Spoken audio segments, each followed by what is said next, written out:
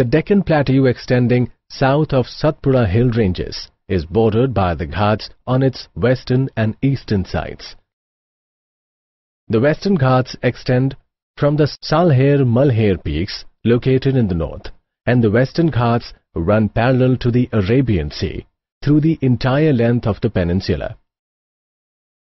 The southern Ghats known as Annamalai Hills are separated from the northern central Ghats by a wide gap known as Palaghat Gap.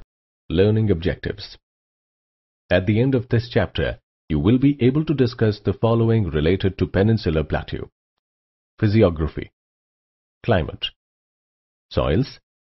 Natural vegetation and animals. Population and settlement. Economic development. Industries. Tourism.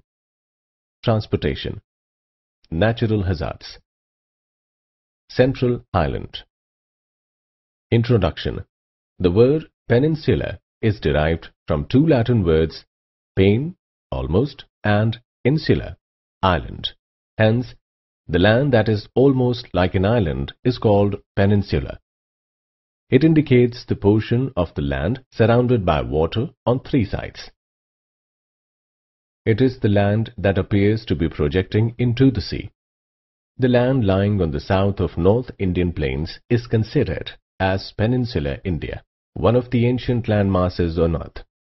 Major parts of peninsular India have igneous and metamorphic rocks and it covers approximately 38% of India's total geographical area.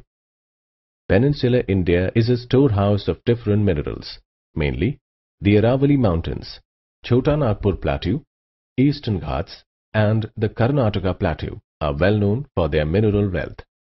The Western Ghats form a water divide separating the drainage of Arabian Sea and Bay of Bengal, while river Narmada is considered as a boundary separating the peninsular area in two divisions viz. Central Highlands and Deccan Plateau. Physiography the region stretching from the southern edge of the North Indian plains up to the Narmada Valley is called the Central Highlands. It chiefly comprises of the peninsular area that forms a part of Ganga River Basin. The Aravalli Mountains, East Rajasthan Upland, Malwa Plateau, Bundelkhand, Baghelkhand, Chota Nagpur and the Vindhya range from the subdivision of the Central Highlands. Most of the rivers originating in this physiography division flow in a southwest to northwest direction. This indicates the general direction of slope of the region. Aravalli Mountains The Aravalli, presently in the form of a chain of hills, is supposed to be the oldest mountain range in India, stretching in the southwest northeast direction. Its width and height decreases towards northeast. Aravalli is represented by hills between Mount Abu and Ajmer with the highest peaks as Guru Shikhar. They appear more or less as a chain of broken hills. This has resulted in narrowing of the Aravalli range in the central part, giving the entire hill chain a shape of a dumbbell. These hills form a part of the water divide between the drainage of Arabian Sea and Bay of Bengal. The East Rajasthan uplands extend eastwards from the foothill of Aravalli Hills. The region is characterized by narrow low hills running in the southwest northeast direction. Otherwise, it is flat land. The mean altitude in this area is around 300 meter through a few hills rise to 600 meter. The area is mostly drained by Banas River, a tributary of river Chambal and Sindh. The area close to the channels of these rivers, particularly that of river Chambal, is known for bad land topography, which is also known as bihars or ravines. Bundelkhand The region lying on the northeast of Malwa Plateau is known as Bundelkhand that spreads in the northern part of Madhya Pradesh and adjoining portion of South Uttar Pradesh. The rocks found in this area are mostly granite. northern part of Bundelkhand is a remarkably flat land that smoothly merges with the North Indian plains. The flat land is separated by a series of steeply rising plateaus. The overall topography of Bundelkhand may be described as smooth, undulating terrain with a few isolated hills. The major river flowing towards north is Sindh, which merges ultimately into Yamuna river. Malwa Plateau. This is located in the southwestern part of the Central Highlands. The average elevation of the plateau is 500 meter. It is characterized by low relief and undulating topography, spotted with low hills that rise above the plateau surface. Major part of Malwa Plateau falls in the state of Madhya Pradesh and is located between Aravalli Range in the west and Vindhya Range in the south. The western part of the region drained by the river Mahi, while the Chambal river drains the central part, and the Betwa river and the headwaters of Dhasan and Ken rivers drain the east. Vindhyachal and Baghelkhand The region of the southeast of Bundelkhand and the east of Malwa Plateau is known as Vindhyachal Baghelkhand. This area is mostly drained by river Son and its tributaries. The Vindhyachal forms a chain of scarps running in the southwest-northeast direction. However, though steep, the northern scarps are somewhat discontinuous as against their southern counterparts, which forms a continuous wall-like structure. Most of the Vindhyachal area falls within the state of Madhya Pradesh, while its eastern extension forms small part of eastern Uttar Pradesh. Chota Nagpur Plateau Much of this plateau spreads in Jharkhand and extends into the adjoining states like West Bengal, Chhattisgarh and Odisha. It is one of the mineral-rich regions of the country, with central part of this region having large tracts of granite genus the rocks of Gondwana formation bearing high-grade coal seams have made this region minerally rich. The scarps separating a series of different plateaus have given rise to the magnificent waterfalls. The Vindhya Range The Vindhya Range forms a boundary between North and South India and spreads from western part of Madhya Pradesh to Bihar in the east for a distance of about 1100 kilometers. The altitude of this range is about 450 to 600 meter, but at few places it may exceed to 900 meters. It does not have many peaks. The southern margin of this region defines the edge of Narmada Channel. The southern slopes of Vindhya range are quite steep, while northern slopes seem gentle. Climate the vast size of peninsular plateau region shows a large variation in climate. Winters are dry periods. Summers is very hot with the temperature of more than 45 degrees Celsius in the month of May. The rainy season is from June to September and the annual rainfall is between 750 mm to 1500 mm. To the east of Aravalli range, Madhya Pradesh and Jharkhand experience humid subtropical climate. Soils Moisture-retentive black soil containing a high percentage of clay is formed from basalt rock and is found in Madhya Pradesh. Red soils deficient in nitrogen, phosphorus and humus but rich in iron ore are found in the Aravallis. Laterite soils are formed in regions getting heavy rainfall Natural vegetation and animal. The natural vegetation in Malwa region is tropical dry forest, with scattered teak forests having main trees as babool, bombax and acacia. Antelope, blackbuck and chinkara are some common animals. Rapid deforestation has led to environmental problems such as acute water scarcity and the danger of the region getting desertified. The Central Highland has dry deciduous forest that shows a variety of vegetation but sal forest being predominant. Forests range from dry to wet and the height of tree up to 25 meters. The plateau is marshy in some places and in other parts is covered with bamboo clumps and shrubs. Central highland inhabits animals like tiger, Asian elephant, antelope, blackbuck, wild dog and chinkara. White birds include lesser florican, Indian grey hornbill etc. Horn population and settlement. Population density on the peninsular plateau region is 200 to 500 person per square kilometer except Chhattisgarh where it is 100 to 200 person per square kilometer 2011 census.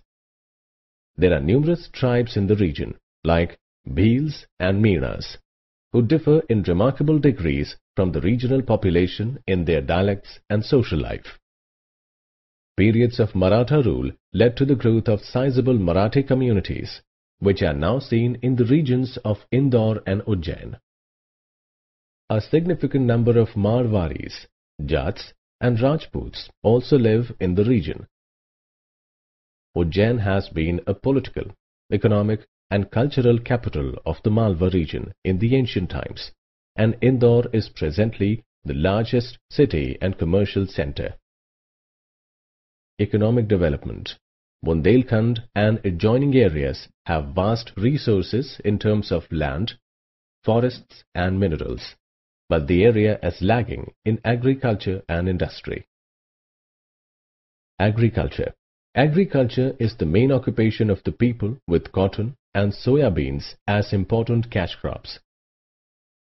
All districts have their economy mainly based on agriculture. But the infertility of land, low productivity and lack of irrigation facilities and non-use of modern methods has hindered the development of agriculture.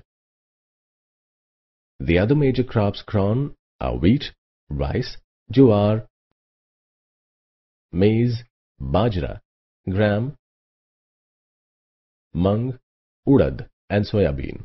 Peninsular plateau of India is dependent on rains of irrigation, second major source being ponds which are spread all over. Mining Malwa Plateau is the sole producer of white and red colored slate in India. Diamonds are found in Panna district constitute Bundelkhand's most well-known mineral wealth. Dimensional stones including granite and sandstone are more valuable reserves of Bundelkhand. Largely used minerals in the fertilizer industry is rock phosphate found in Lalitpur and Chhatarpur and low-grade iron is also found in Lalitpur.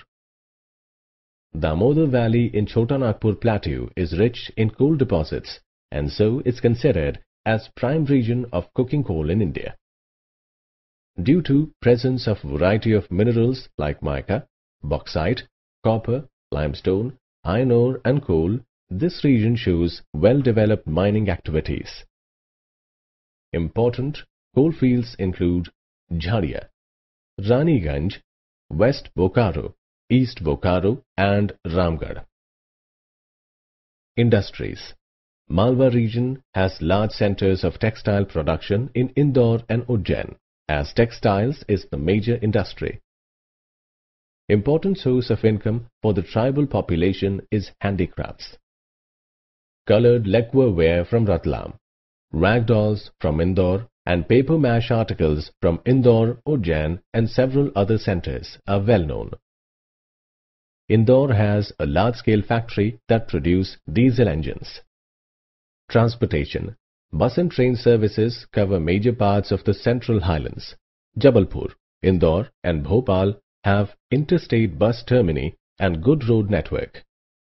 An extensive rail network crisscross the region with Jabalpur serving as headquarters for the West Central Railway Zone of the Indian Railways. Tourism Bundelkhand and Baghelkhand have a rich cultural background. Bundelkhand has numerous forts, palaces and temples. Madhya Pradesh, a land of ancient culture and tradition, is famous for its archaeological monuments and places of pilgrimage for all the religions like Hindu, Muslims, Jains and Buddhists. Ujjain city on the bank of river Shipra is famous for Kumbh Mela. Natural hazards and environmental problems. Main environmental problems of the region are related to deforestation, mining and industrialization, power generation, urbanization, vehicle movement and development projects. Forest cover in the region is decreasing due to random cutting of trees. Development projects, mining activities and transport development have led to the loss of thousands of hectares of valuable forests. Expansion of agricultural activities has caused loss of some valuable forests. Peninsular uplands are the storehouse of India's minerals and fuel resources. Deccan to the south of Narmada has an inverted triangle with its base in the north and the apex in the south. It is the Deccan Plateau. The Satpura range along with the Mahadev and Maikal hills forms the broad base of this triangle. The Meghalaya Plateau and associated hill complex from the northeast India are also part of Deccan Plateau. Lower Ganga Plains and the Sundarban Delta have separated these from the largest portion of the Deccan Plateau.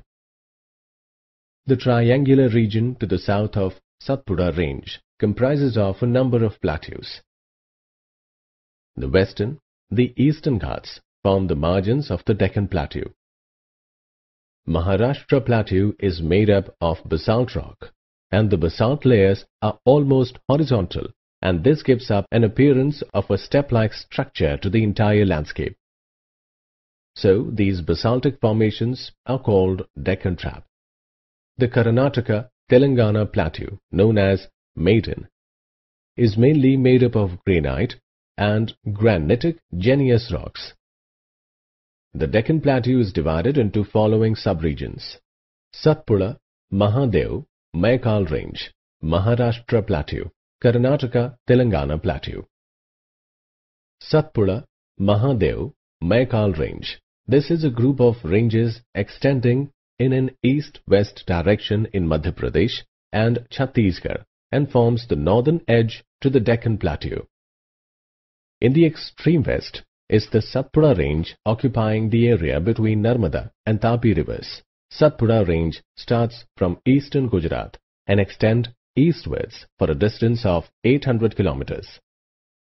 Its continuity is broken in the central part and this gap is known as Burhanpur Gap, provides an access to North India. The hilltops are more or less in the form of plateaus of varying sizes growing to a height of 700 meter with a few hills over 900 meters.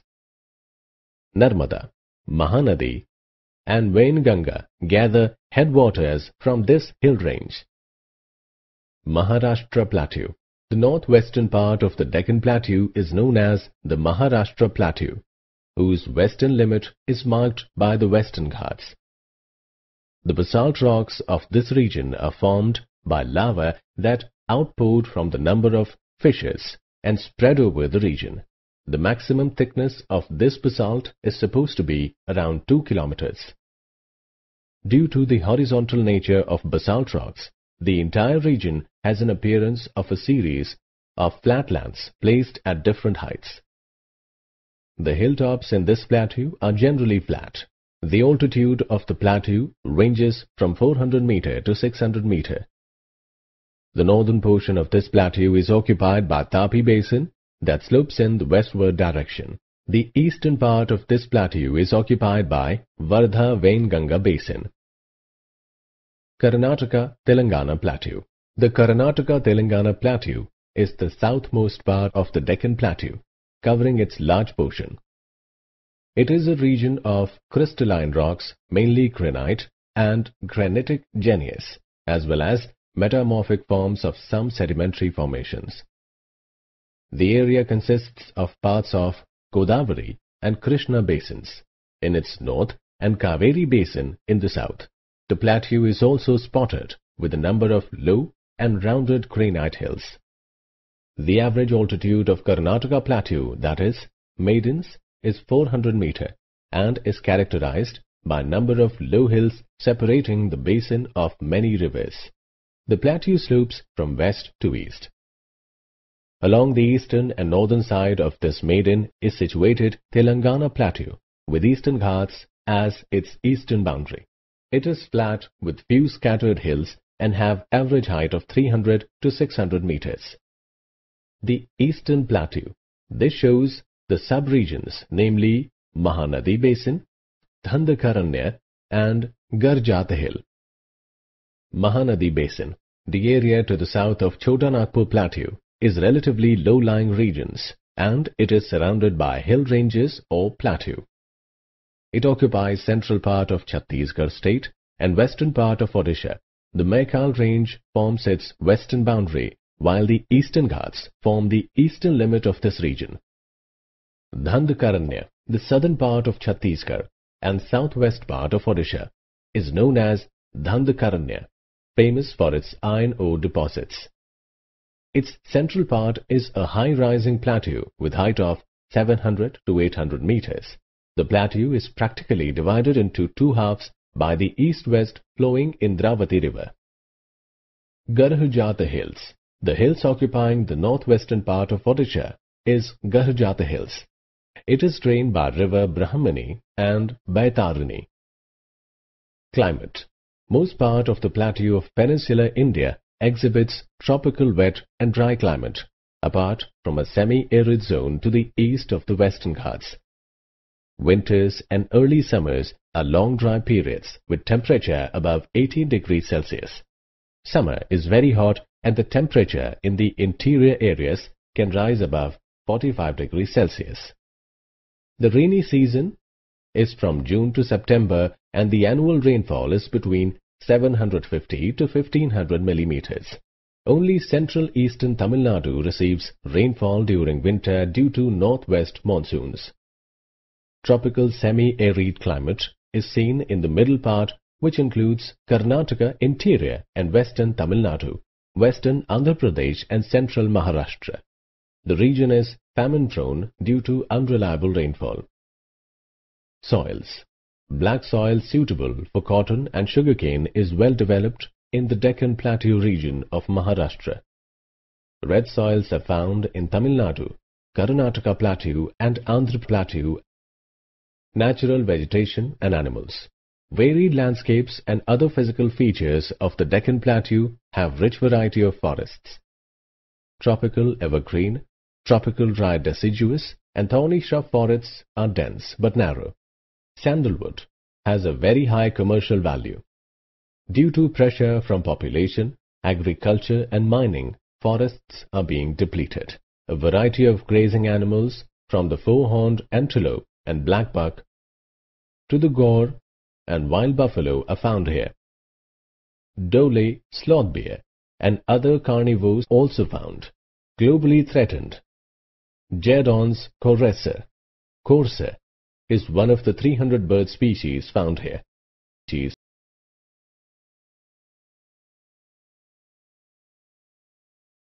Population and settlement the Deccan Plateau is home to many languages and people.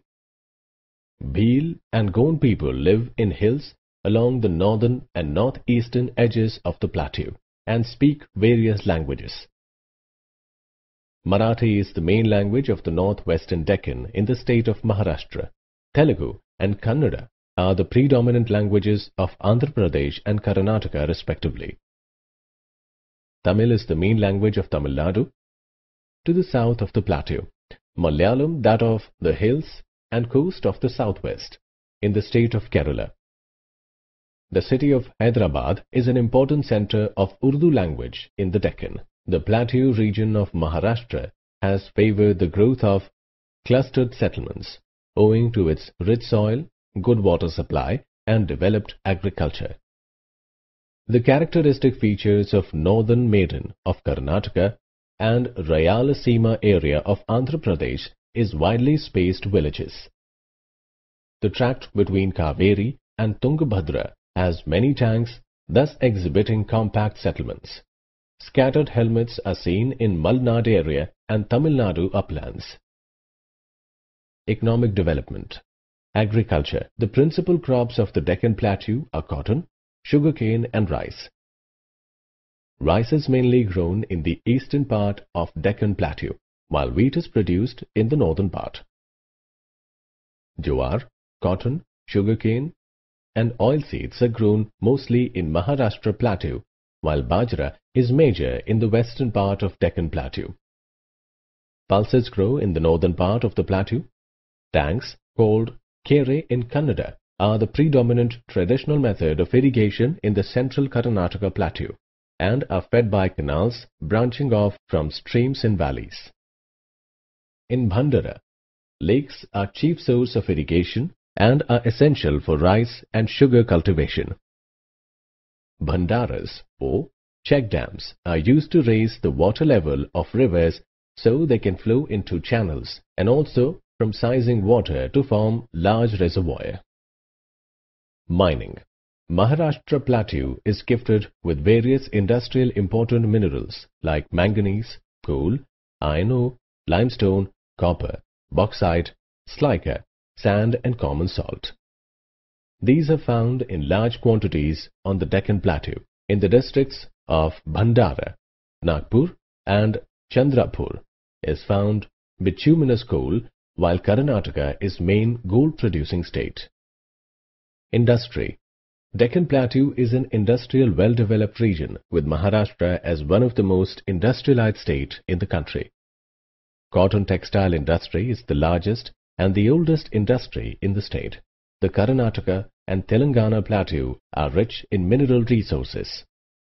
Important minerals include high-grade iron ore, copper, manganese, chromite, china clay and limestone. Karnataka state has rich deposits of granites. Other industries include machine tools, electronic products, telecom equipments, etc. Hubs of IT industry are located in Hyderabad, Bengaluru and Pune. Tourism Deccan Plateau has many tourist places of natural, cultural, historical and religious importance. Udagamandalam, Ooty of Tamil Nadu and Mahabaleshwar of Maharashtra are famous hill stations of the region. Bengaluru and Hyderabad are famous for their gardens. There are many historical places in Aurangabad, Bidar, Bijapur, Mysore, Pune, etc. Besides these, there are many pilgrimage places in this plateau region that attract people from all over the world. Natural hazards and environmental problems Large-scale mining activities and a large number of industries have led to water and soil pollution. After the extraction of minerals, the mining areas become useless for other purpose. The western part of the plateau region is an earthquake-prone region.